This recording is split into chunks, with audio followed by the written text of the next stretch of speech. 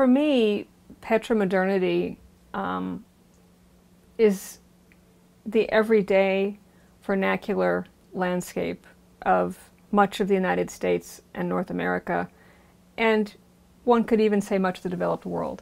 And what that looks like on the ground uh, is uh, suburbia, made possible by 41,000 miles of freeway system, which was created after World War II, although on the books as of 1944 in the United States, um, it looks like suburbia, it looks like the suburban freeway complex, it looks like the um, strip malls that have taken the place of Main Street, as it's nostalgically remembered in political rhetoric. Um, it looks like parking towers and parking lots. Um, it looks like a world that's been built primarily for automobiles. Um, it's a world of tremendous efficiency and convenience, so long as the resource, the cheap energy, petrol fuel, is available. The minute that that becomes scarce or even too costly, as we saw happen in the US back in July of 2008, thereabouts, um, suddenly petro-modernity becomes a potential landscape of apocalypse. The, the affective connection that we have to petro-modernity and its, and its built environments um, was talked about very early on by philosopher Kate Soper, who talks about troubled pleasures uh, and also the possibility of perhaps creating an erotics of sustainability that matches the kind of hot media that was given us in the 20th century by cars and freeways. And the hot media is a, a term of Marshall McLuhan's to describe media that really speaks immediately to our senses and um, satisfies us so well that we don't really even have a critical distance upon it. That affective investment was also talked about um, in the work of sociologists like Mimi Sheller, um, who's written about, from a feminist perspective actually, about the ways in which suburban moms are, are um, cathected to their SUVs and how that kind of automobile, uh, so inefficient, so unsustainable ultimately in the long run, um, confers a sense of, of safety and has come to symbolize um, a necessary and responsible caretaking of one's children and family. Um, so these affective investments uh, come up again and again and again and become problematic for policymakers. Susanne Moser, who is a person who's written about climate change policy, has found um, in a collected book that she wrote about climate change policy that people who finally come to understand the science of climate change and can be convinced to believe and not only climate models, but the actual events of freak uh, climate weather that we're seeing across the world, that such people, uh, one of the first responses that they often offer on questionnaires is the wish to buy a larger car so as to protect themselves from the extremities of this new weather. Um, the IPPR, which puts out a report periodically about climate change and has talked a lot about trying to brand it as a kind of as a lifestyle, a new lifestyle, a new consumerism uh, also worries about those affective investments and how to, uh, in a sense, not just change the narrative, but change the embodied memories of people who have lived so long in a world of the petromodern. I was very influenced by the work of the Center for Land Use Interpretation, which is a, an arts research collective, uh, also a bit of a hub for cultural geography, uh, the primary office is in Culver City, California, but they have offices throughout the U.S. and they have one in Houston. And what I loved about what CLUI is doing, the CLUI is doing in Houston in particular, um, because that's a site I recently visited, is they're talking about narrative in terms of bodily practice. They're getting people out um, in the rivers, in particularly the Buffalo Bayou, the major urban river of the city of Houston, and allowing people to see how that water transects the space of the energy capital and makes it, in fact, more readable on a human scale. So, water interestingly becomes a medium for narrative intelligence for the CLUI. You go out on a boat with them, you take a boat tour, and you literally move through the space of oil production, re refining, transshipment, etc and begin to feel yourself in relation to those spaces whose scales are so vast that they aren't meant to be represented or representable.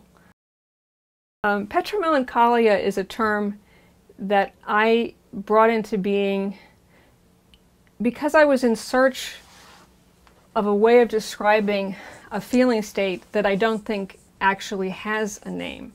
And of course, I was drawing on Freud's definition of melancholia and this idea of a kind of grief that is ceaseless, that is non productive, and that is not socially recognized as um, positive in the sense that mourning is. In mourning, we eventually take another object. The possibility of replacement moving forward, futurity, exists within the rubric of mourning, and it does not within rubric of melancholia. But there are aspects, specific aspects of Freudian melancholia that don't apply to what I'm talking about. When I say petromelancholia, I'm talking about the grieving of conventional oil infrastructures and conventional oil resources, um, which no longer exist, or at least do not exist in the quantities that they once did. The grieving of a culture of endless, even limitless expansion that was proposed atop the landscapes of conventional oil. Starting in the US roughly in the late 1920s, around 1930 is peak oil discovery in the US. Um, that grief is a grief not just for the resource, but it's also a grief for a certain vision of the US and a certain idea of the American century, when America, of course, only refers to the United States. A lot of our modern subjectivities that we hold dear and that are, in fact, particularly dear to people like myself on the left, you know, feminist subjectivity, environmentalist subjectivity, queer subjectivity, um, came into being in part because of the possibilities for expansion and cultural elaboration and media production that cheap energy made possible. I don't necessarily see a clear path out of this. I do think, frighteningly enough, that it is disaster more than anything else that is creating the possibility of not only a new kind of arts practice, but a new politics.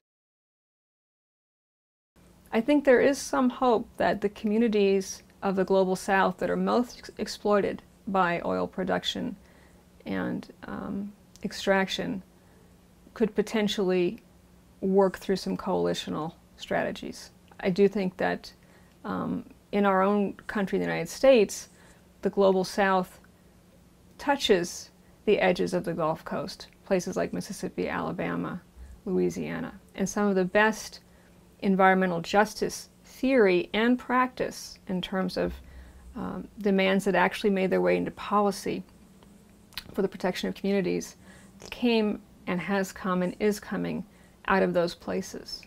But it's a terrible thing to think that the people most afflicted are those who are also carrying the burden of true change.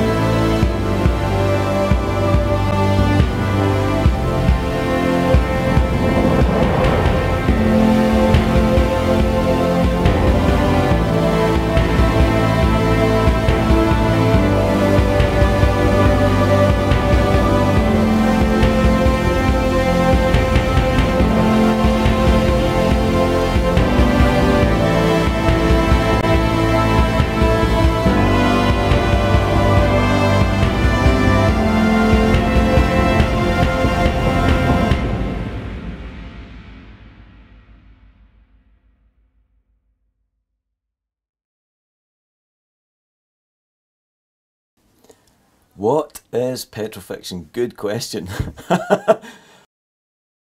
I work in Scottish literature primarily, yeah? And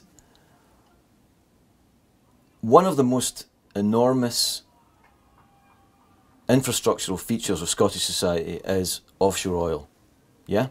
So one would expect that to be registered in the literature of Scotland and even in the wider sense the literature of the United Kingdom, right? Because 30% of GDP um, is based from North Sea oil. Um, but culturally, it's minimally registered. It hardly appears. For the last 40 years, it absolutely underpins the narrative of contemporary Britain. It's the story, even in some respects, the survival um, of the British state for the last 40 years, in its present guise, that is. But when one looks for it culturally, directly and explicitly, the thing that we would call petrofiction, the literature that registers oil directly, that talks about oil, that um, mentions things about the oil industry, that takes uh, oil as a narrative, um, as a story, oil as a, a, a plot device, oil as a, a, you know a whole sea of metaphors, doesn't really exist um, in the capacity that one would think it, it, it should. So when one starts to look abroad, right, you need to start to look at elsewhere for models. So the best way I thought to do this would be to think about other oil producing countries. Yeah? Um, and actually, the same kind of thing exists there. The same kind of situation exists. It's not directly apparent. You have to really search it out, say, for example, in Venezuelan literature, you have to look for it in Saudi Arabian literature, you have to look for it in Mexican literature. It's not enormously configured within the whole of the kind of literary field of those oil producing countries. It's maybe consigned or limited to one or two texts. But once you start to stick all them together, you begin to see a connecting theme. Um, and the connecting theme, of course, the subject is oil itself, right? Its extraction, what it does for the kind of social world round about it, and so on. And despite the fact that there are vastly different geographies, vastly different spaces, vastly different times of extraction, you get very similar textual experiences, very similar, similar textual structures um, similar plot lines, similar characters, similar events, uh, similar um, outcomes, um, even similar forms. And it seems to me that you need a world provenance, a world perspective, in order to really kind of like grab what petrofiction is.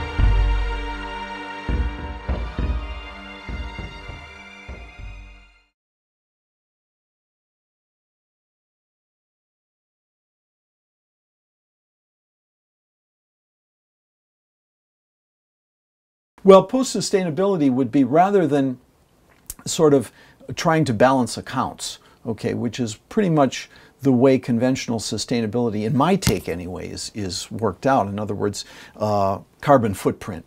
You come up with a very precise measure of the amount of uh, fossil fuel, for example, or resources consumed per capita.